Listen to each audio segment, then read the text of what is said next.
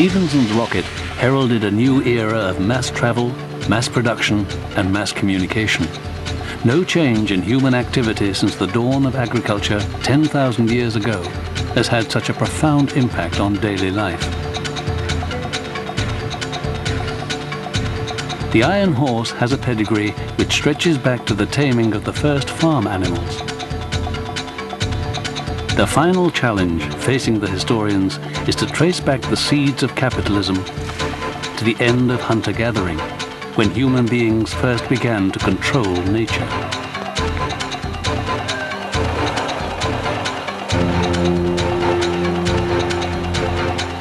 Long before steam power, we harnessed water power and wind power. And before that, animal power. The puzzle is why this only happened in some parts of the world. Why were some people catching trains while others were still catching animals?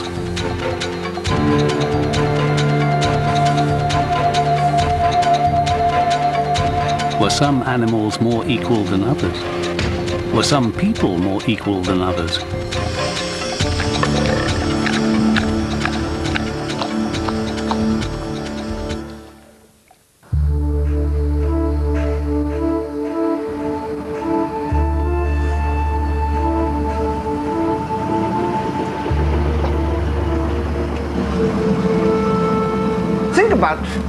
Road that humanity has traveled over the last 10,000 years. We have come down from small tribes of hunter-gatherers to very, very large groups who dine at McDonald's.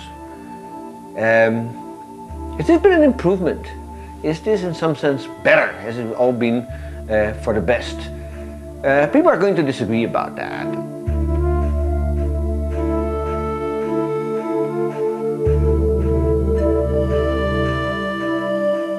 Many believe that the first 50,000 years when we used to hunt game and gather wild plants was the most idyllic form of human existence.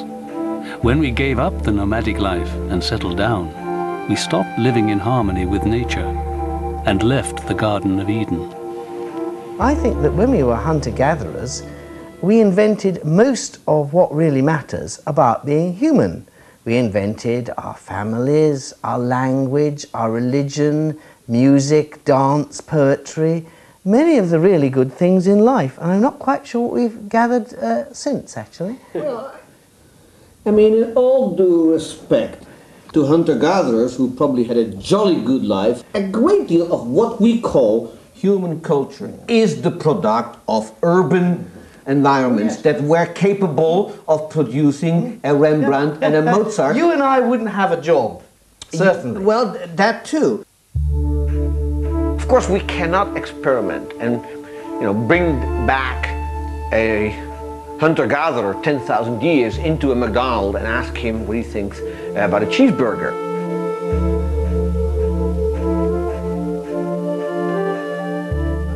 People have to eat. That problem has remained basically the same over 10,000 years. Uh, what has changed is the efficiency with which we are able to extract these things uh, from nature.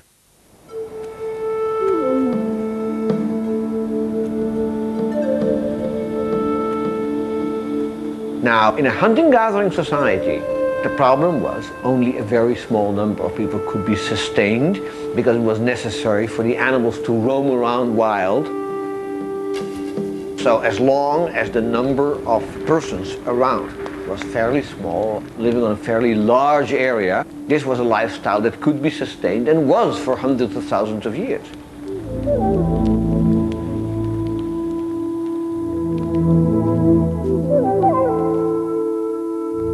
Ten thousand years ago, the first agriculture began in Mesopotamia and China. Outside the continent of Eurasia, hunter-gathering continued. Agriculture probably began with hunter-gatherers returning to places where they had planted seeds from their favorite food.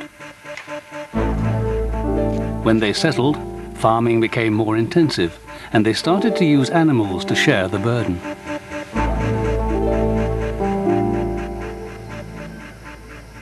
In this remote area of Nepal, the hardships of farming without the aid of machinery, electricity, or even wheels can be seen.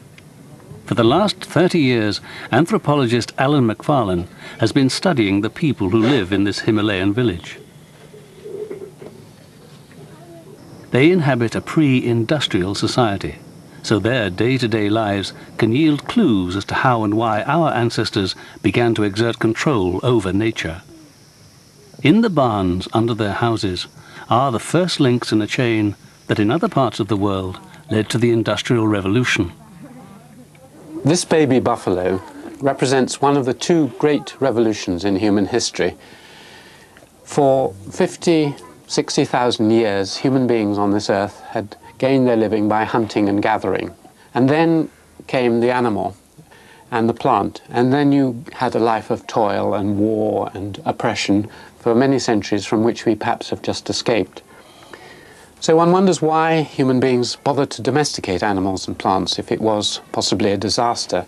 The reason really is that human beings are very poorly endowed with natural abilities. If you look at their bodies, they don't have fur or feathers, so they have to have clothes. Their eyesight is not very good, so anything that can extend that is good. Their ears are not very good. They haven't got a very good sense of smell, so they employ dogs as a surrogate for their noses. Their teeth, they don't have good chomping teeth. They don't have claws. They can't run very fast. So basically they're a, a wreck. They really don't have much going for them except a very good brain. So Basically, if they're going to get anywhere at all, they have to harness through tools the external world. Now, we tend to think of tools and the, as extensions of the human body, and we tend to think, therefore, of things like hoes and ploughs. In fact, an animal is another human tool. In this case, what was being extended was the human gut and the human stomach. Humans again have very poor stomachs. They can't digest very much. For instance, if I try and eat this leaf, this tough leaf from the forest, I'd start chewing it and I'd get terrible stomach ache and I wouldn't be able to release the energy in this at all.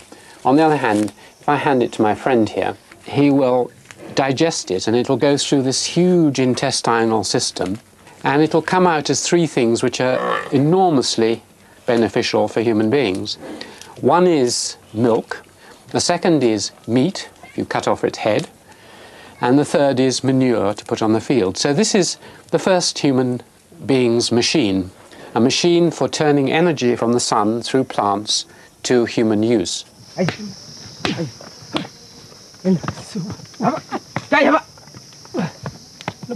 Like all machines, this one requires careful maintenance. These oxen each consume three or four loads of fodder a day, which must be carried down from the forest above.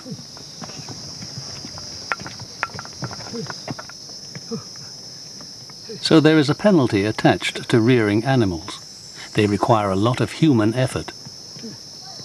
The reward is the ability to harness their energy to produce crops. Until the advent of railways, there were only two ways of transporting loads across land, the human back or the beast of burden. So domestic animals were a vital step in the replacement of human labour. Yet this change was largely confined to Europe and Asia. The distribution of domesticated animals was unevenly spread across the world. By 4000 BC, goats, sheep, cows, pigs and horses were being domesticated across the continent of Eurasia. These animals we regard as farmyard animals today did not exist elsewhere.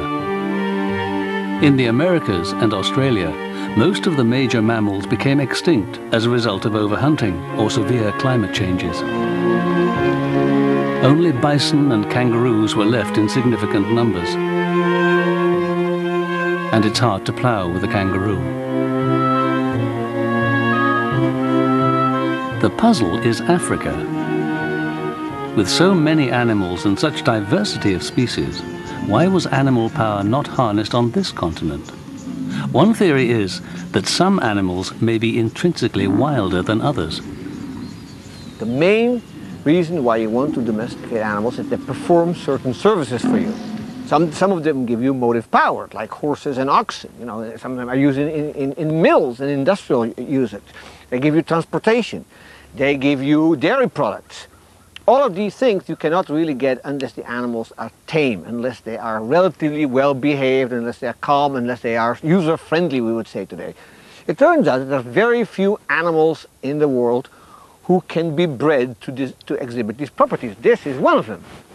But there aren't that many of them. If you look to animals that are in many ways quite similar genetically, uh, like wildebeest in Africa or, or bisons in America, um, they're just sufficiently different to not to be, to be uh, domesticable. The same is true, for instance, for zebras and horses. Horses and donkeys can be domesticated. Zebras, so far, nobody has succeeded. The point is that the Europeans and the Asians were uniquely fortunate by having these animals around and building large chunks of their material culture on the existence of animals. Perhaps the animals of Africa, where hominids have lived longer than on any other continent, evolved characteristics which made them hard to hunt and even harder to domesticate. African animals have been exposed to human predators much longer than Eurasian animals. The people of Europe and Asia had the good fortune to have a wide variety of relatively docile, fast-growing, easily fed animals. By enslaving them, Eurasians could travel further and faster, eat better and work harder than the inhabitants of any other continent. However, there are other explanations of this unique growth in parts of Eurasia. Alan Macfarlane believes that people only abandon hunter-gathering when there is no choice. If there are no animals left to hunt, or the desert begins to encroach, farming becomes a survival strategy. In one or two places which were very rich soil areas along river deltas like Mesopotamia, you got population building up and building up. And so you began to get intensification of agriculture. When they became serious farmers, they began to produce regular surpluses. And this leads into hierarchy. People come along and say, look, I'm a bit stronger than you. I would like a certain cut in your crops.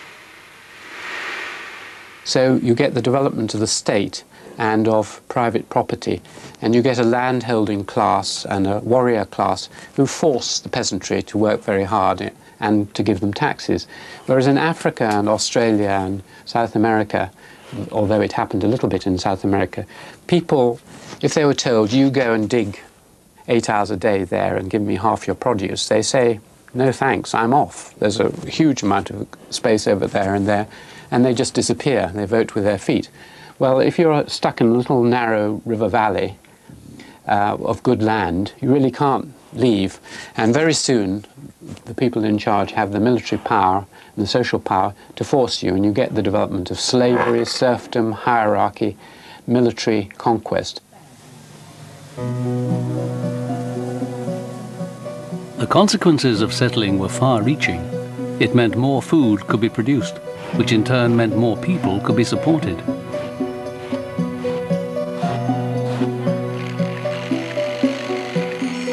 The ability to produce surplus food freed citizens to develop new skills. What began as simple hobbies developed into specialized crafts.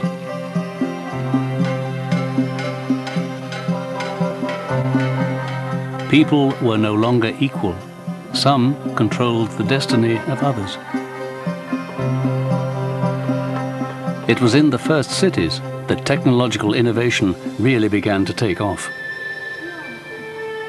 When you look out over a crowded city with hundreds of thousands of people living closely together, you marvel at humanity's ability to have created the wealth to move from the simple life of hunters and gatherers to city civilizations about 5,000 years ago.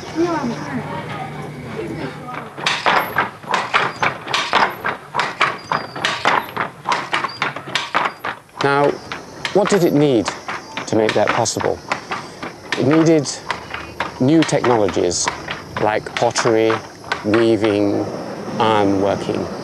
It needed new forms of social organization like the state and financial organization like taxation and ways of integrating people like religion. And once you had this package together, you could make a city and a city civilization.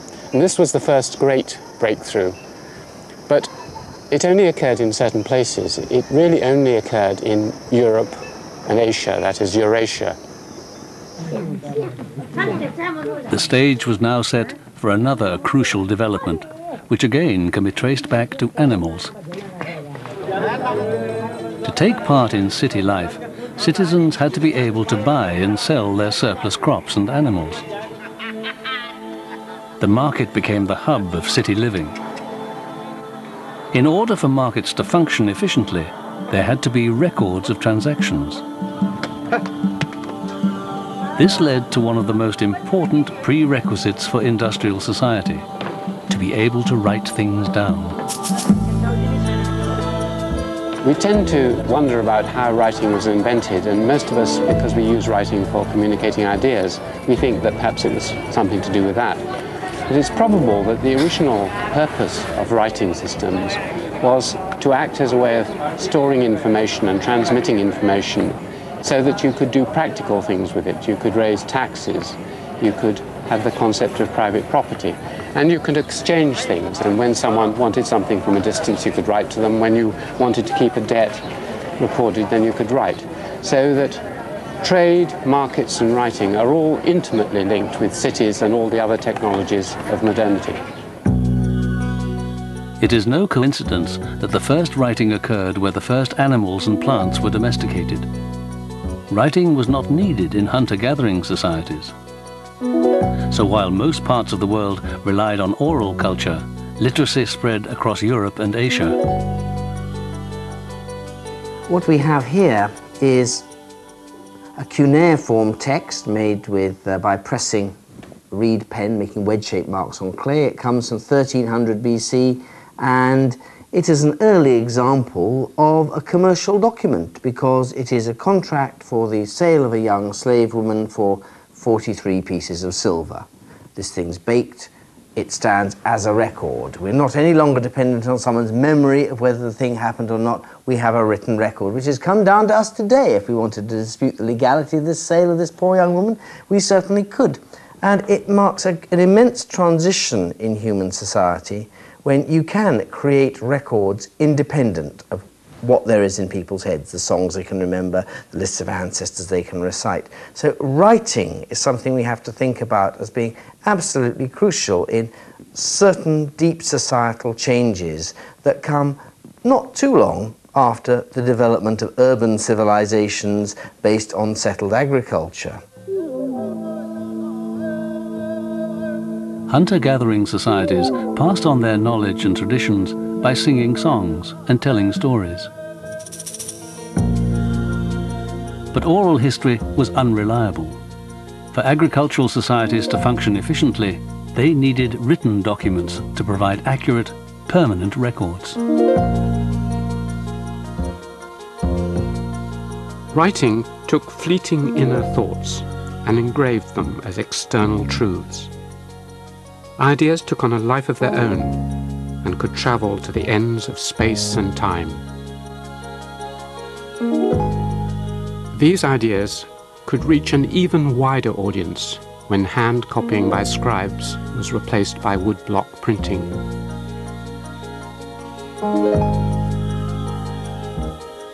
When ideas were printed, they spread further and had a more lasting effect.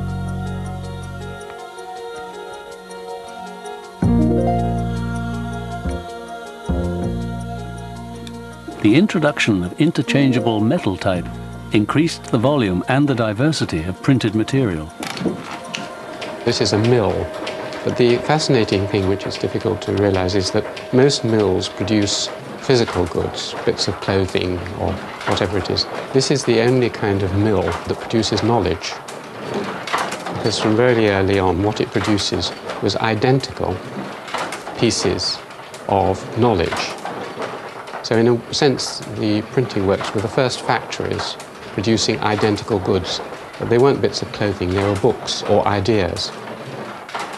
And you have a, a great enigma. In the West, there are many books about how printing revolutionized Western Yes. theory. And it transformed it, uh, our world, gave us science, gave us Protestantism. The European map of the great print houses just is the European map of the development and spread of the new sciences. Without printing, you can't conceive of how the Renaissance, the Reformation, or the scientific revolution could really have happened the way they did. China invented printing and used it for some long period before the West, and it doesn't seem to have been, as Riesman called it, the gunpowder of the mind No. in China. It, doesn't explode the wasn't- Almost, if anything, the reverse, because uh, it just shows you, I think, that there is no such thing as a technology that just consists of the material means for doing particular kinds of things. The software that goes with it matters, if anything, very often much more. Even though movable type was originally invented in the East, the thousands of different characters made it very difficult to use. In the Chinese language, there are 80,000 characters.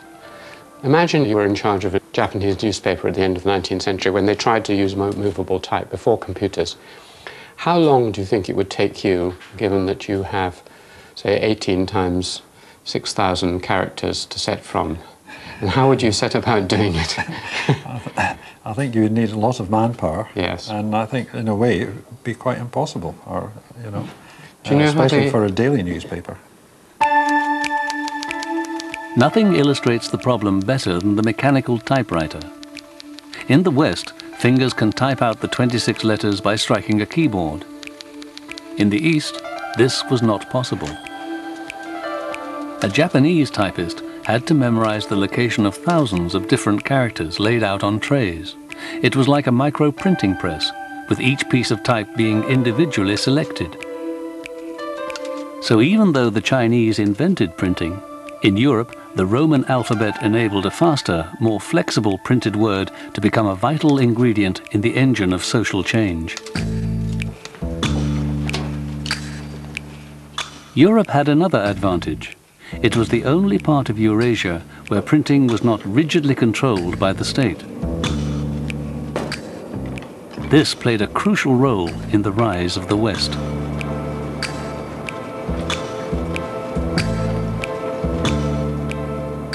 Europeans became heirs to a huge body of stored knowledge, which enhanced the potential of every reader to contribute further to the exploration and understanding of the natural world. There was an enormous curiosity in Europe. It always wanted to know about what was happening on the edges. People went gallivanting around the globe, but they often went with notebooks or the equivalent, wrote down things and came back, and you got these travelers' accounts and the botanists' accounts. All this vast flow of new knowledge came into Europe.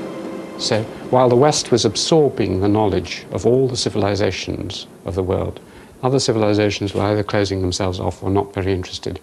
And the real tool that allowed this was the book.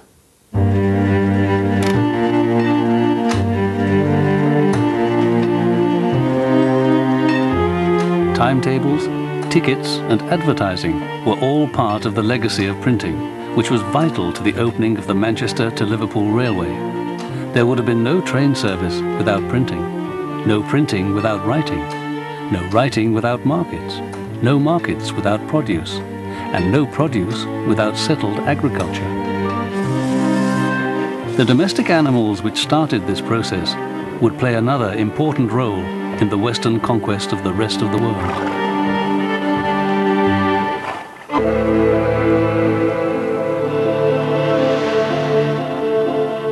When European explorers set out to discover new continents, they unwittingly embarked on a program of transoceanic genocide. Wherever they sailed, they brought death and damnation. If you'd been standing on this beach 250 years ago, you might have witnessed an extraordinary encounter. On the mainland of Australia was an ancient civilization, perhaps 50,000 years of human development.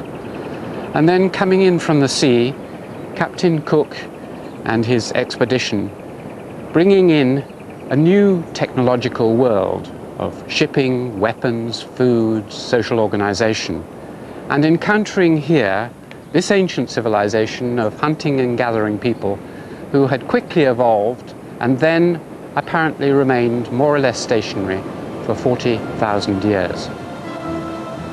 The lush, untamed world of these hunter-gathering tribes looked ripe for exploitation to the Europeans who first landed on these shores. There were no one here except the local tribes such as the Biribi, who were hunters and gatherers and who went through the forests taking the fruit and the animals. Then Westerners arrived, drove off the natives, came into these forests, logged the timber, grew their cattle and corn, and almost all the native population was destroyed. This happened not just in Australia, but all over the world, and that is the terrible cost of technological growth.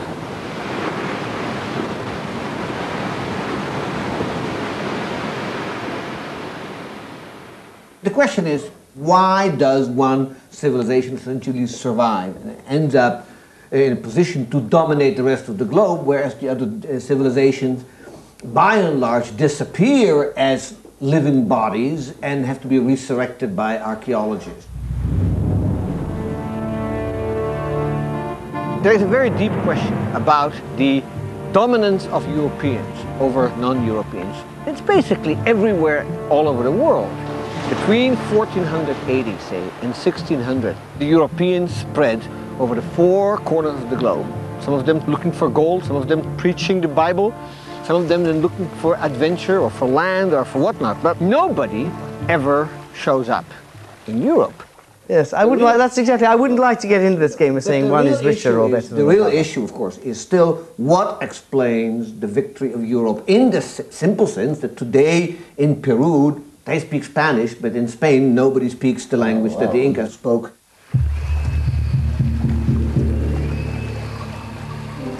The civilizations of South America were more sophisticated than those of Australia. Yet European assaults on the Inca and Aztec empires had equally devastating effects. How did Europeans manage to take over continents so successfully? There's a certain ruthlessness, a certain uh, uh, uh, aggr- aggression that, that, that I think is, is something that these native people have perhaps not entirely encountered. The, you know, the, the way in which the Europeans cheat and lie and trick uh, these populations as well. And So the key there is a mixture of hypocrisy and violence. I think so, but violence that is, it's not just that they're violent, it's, it's, that they're the, or, it's organized violence, which, and the organization is better. Perhaps European weapons, the product of centuries of warfare between rival states, also gave them the edge. But industrialized violence alone fails to explain how 168 Spanish soldiers could overpower 80,000 Inca warriors. But certainly the fact that they had arms made out of steel uh, uh, did make a difference. But remember, they were the, the numerical odds were absurd. I mean, you had a handful of people against entire armies. It seems unlikely that with the kind of guns that the Europeans brought along with them, that it would have been easy for them to wipe out millions and millions of people who lived here in 1492. It's just unthinkable.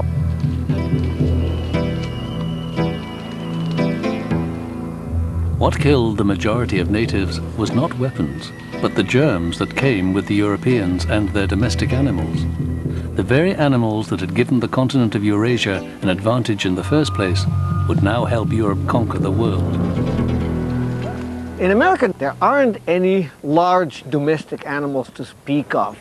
Uh, the biggest thing that they have going for them are things like turkeys in Mexico and uh, llamas in the Andes and um, you know dogs everywhere, but nothing like what Europeans have in terms of cows and, and horses. And as a result, the, the kind of farming that Europeans find here is uh, completely different. And when they show up and start introducing their own kind of farming, and they bring animals like this to America, obviously they change the entire ecology of the continent.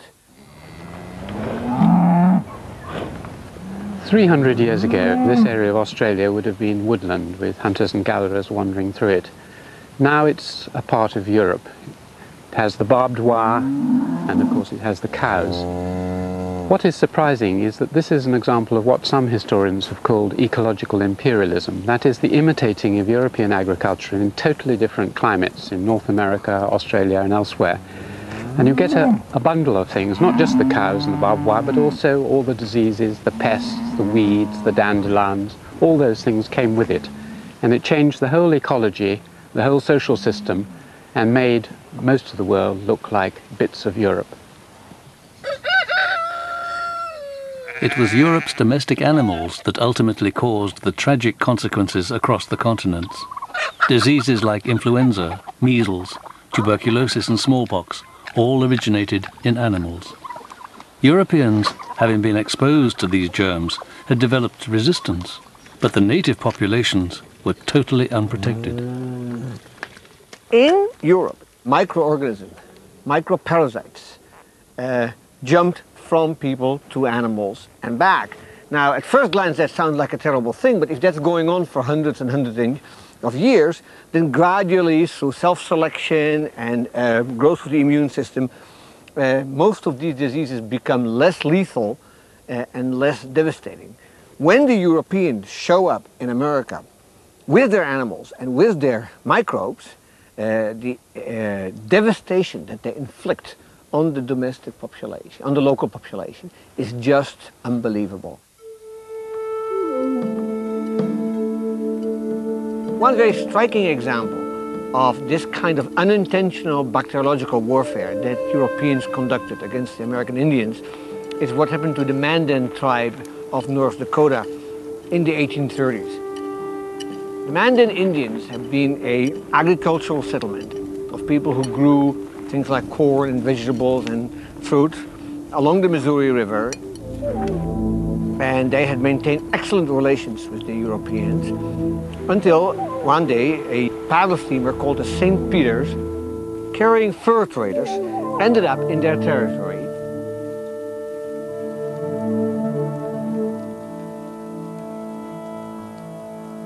One of the persons aboard was infected with smallpox and somehow that person infected the Mandan tribe and within literally weeks the vast majority of the local population passed away.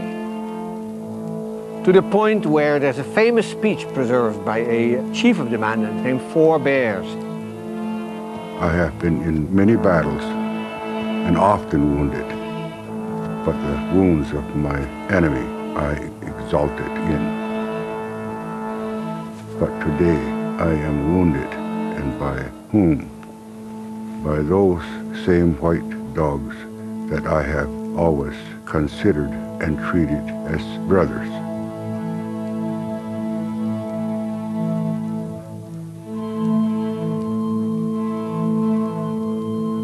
The Mandan suffered the fate of most native peoples of the Americas and Australia.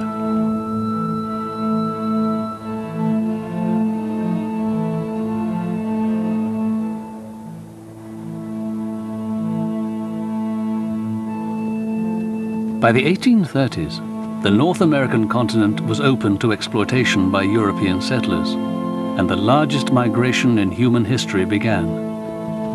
In just a few decades, hunter-gathering would give way to industrial agriculture.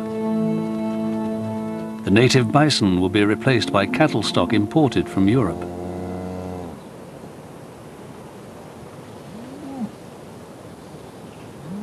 Open prairies would become the biggest grain fields on the planet. There was only one thing holding America back. Its sheer size. The larder of the Midwest was a thousand miles from the dining rooms of New York and Philadelphia.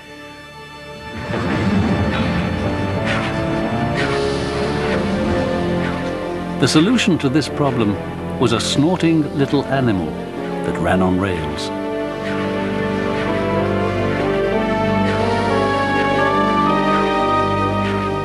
At the time of the rocket, few realized its potential to shrink continents. As late as 1830, most of the people who thought and wrote about the issue of transportation over land did not realize the enormous potential that this contraption would have. You could build railroads almost anywhere. They could go, get to go in almost any weather. They didn't dry up. They didn't freeze over. Even if they were snowed under, it was fairly easy to remove the snow and keep the trains rolling.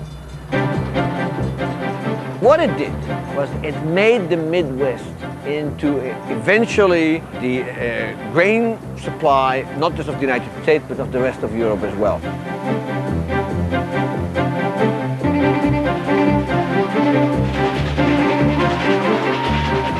Small village of Chicago at the foot of Lake Michigan was ideally placed to exploit the wheat from the prairies, timber from the pine forests, and cattle from the Midwestern ranches. It became the hub of a vast rail network linking the agricultural heartland of the West to the cities of the East.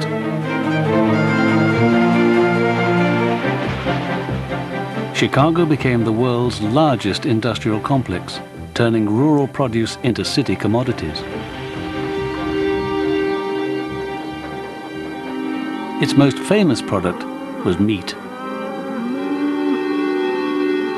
By 1870, Chicago's Union Stockyard had grown to over a hundred acres.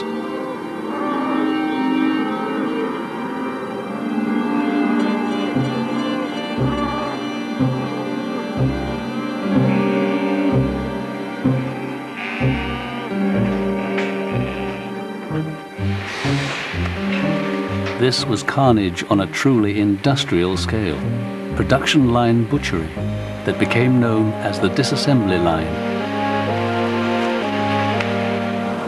most of the animals were in the west and the people who ate them were in the east. So this was a natural place to do the slaughtering and ship them back east by train. Now, the production system as it developed in Chicago is a very interesting and original adaptation of the conveyor belt. Each worker practices one very limited, highly specialized task, such as cutting off one particular piece of the animal and then the product keeps moving on to the next person. A pig comes in alive and an hour later it is completely dismembered and ready to go into things like pork chops, sausages, spare ribs, and so on and so forth. So it is an extremely efficient way of producing. And you can think of it as a line in which things are being disassembled. That is, an animal, a carcass, is being chopped into its components, each of its components being marketed separately. Chicago butchers prided themselves in packing everything but the pig's squeal.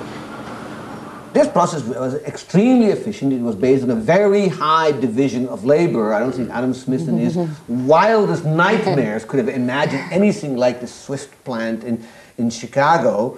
Uh, but it did, it did, did become, in some way, a model to a lot of uh, subsequent American manufacturing that is still based on these continuous flow processes.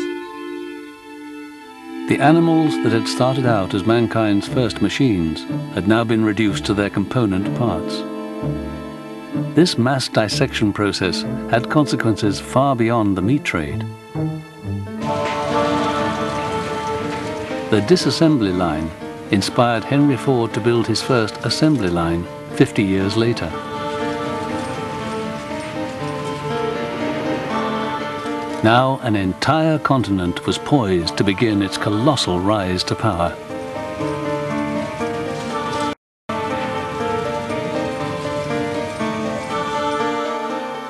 The Industrial Revolution in the New World showed the immense wealth that could be unleashed by a capitalist economy. It was based on the European belief that the roots of prosperity lie in the exploitation of the natural world.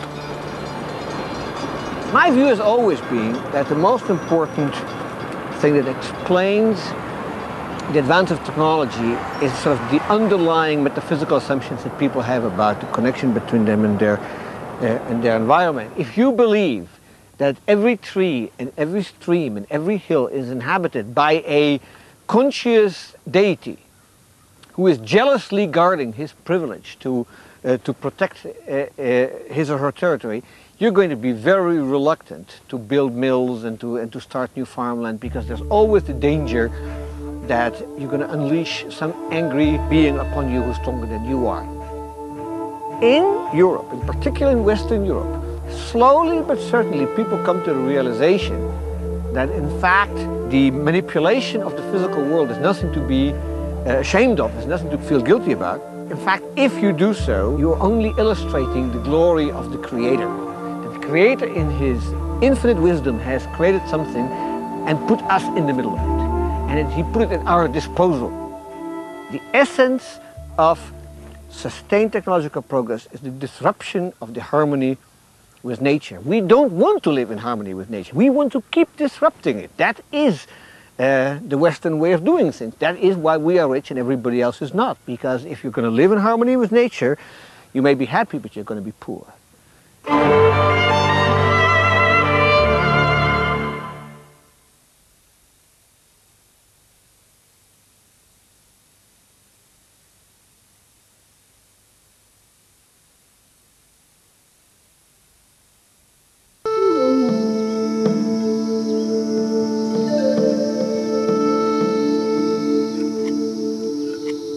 Last few decades of our 10,000 year history, the post industrial human species has evolved quickly.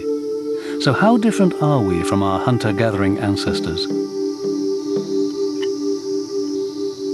The story of the Garden of Eden and the loss of innocence is often taken to be the story of the loss of hunting and gathering. Adam and Eve picked the plants, uh, picked the fruits off the trees and lived a simple life without raiment and so on. And that was the life of hunters and gatherers. The fall of man, many people believe, is this long period when you had to work harder to gain a living.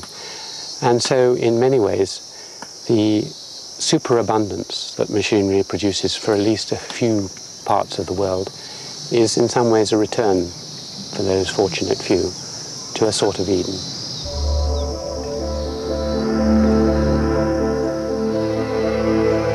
Just the last 200 years of industrial civilization in many ways is a return to hunting and gathering.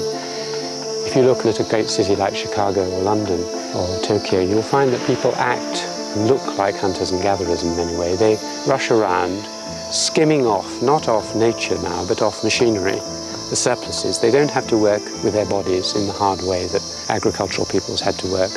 And so you have a sort of social structure and a way of life which, although it is technologically much more sophisticated, reminds one very much of desert hunters and gatherers. The question is how much more dependent on machines will the human species become? Over the last 10 millennia, machinery has been introduced in industrializing societies to take over burdensome tasks so that machines increasingly embody more and more complex skills which up till then it had, it had been believed only humans could perform.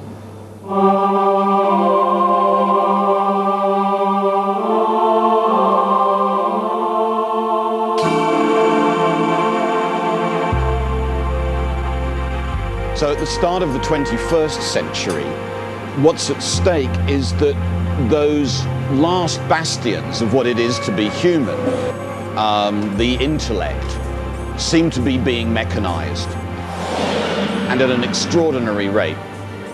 So that the machines around us here are performing tasks which two decades ago would have won you the Nobel Prize.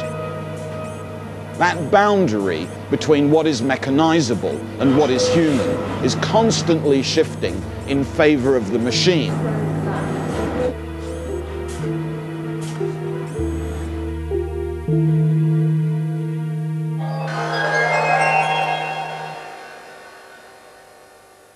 This room here is a sequencing factory. It's a disassembly line for taking apart samples of DNA and then working out the order of their components. So these computers are working automatically to analyze, order, and define a kind of code on the basis of which human nature can then be pictured. It's the idea that human nature itself might be expressible as not much more than a kind of rather long ma- machine code, which has come to dominate a whole host of images of what it is to be human, what human nature is like, what can be synthesized, what can be engineered into existence. Over the last 10,000 years, the human species has become increasingly clever at dissecting and mimicking the natural world for its own ends.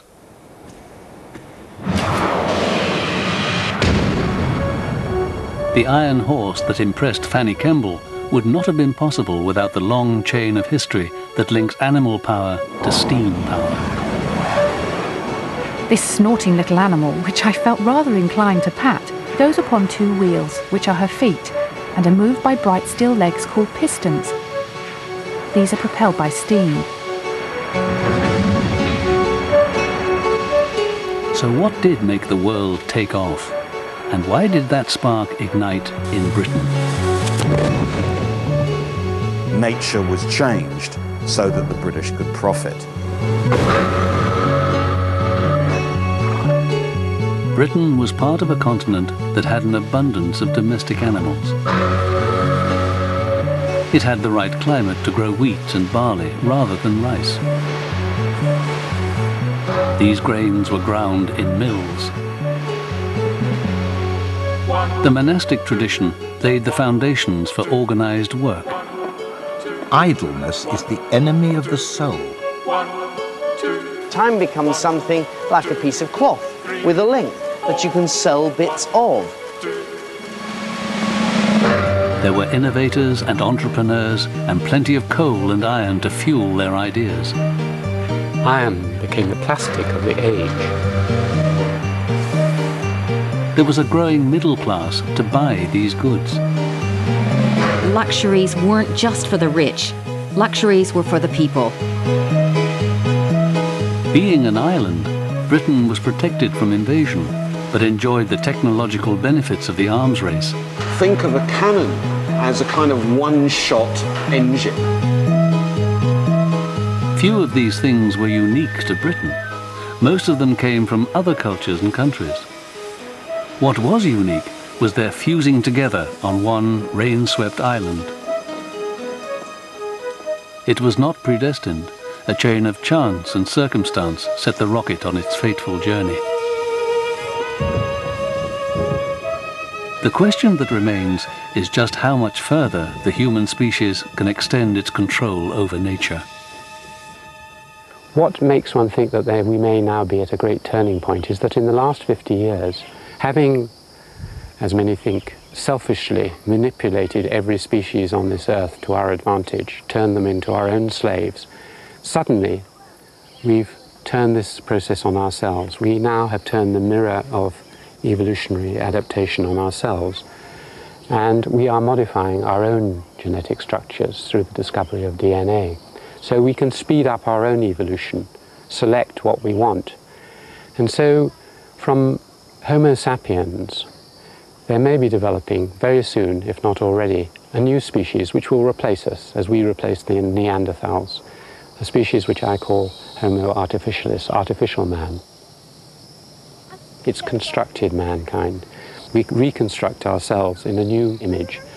We make ourselves into more intelligent, healthier, whatever we like, kind of beings, but we're no longer the product of unguided evolution and have modified our genome so much that in another 10,000 years, when someone sits here looking at the Himalayas, which will probably be unchanged, it'll be a very different kind of person sitting here and saying a very different kind of thing.